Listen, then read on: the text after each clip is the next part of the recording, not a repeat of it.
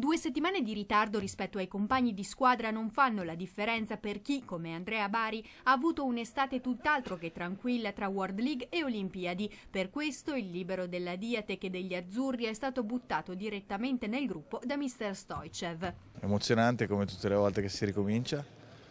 Eh, ho rivisto i compagni che c'erano l'anno scorso, anche i nuovi, eh, c'è sempre grande entusiasmo, poi vedere il Trentino eh, con eh, questo clima, questo caldo è, è un po' strano.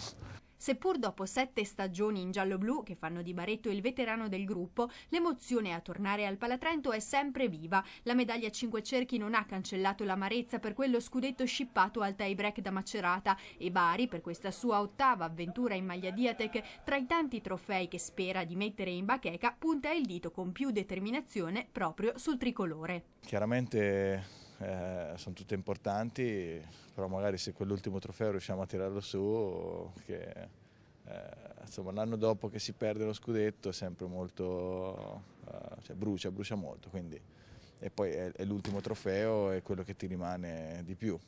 La squadra va quindi completandosi agli ordini di Stoicev e Sergnotti. Martedì 4 settembre tornerà in via Fersin Emanuele Birarelli, a metà mese poi anche Stock e Giuric, ancora impegnati con le rispettive nazionali per le qualificazioni europee in vista del 2013.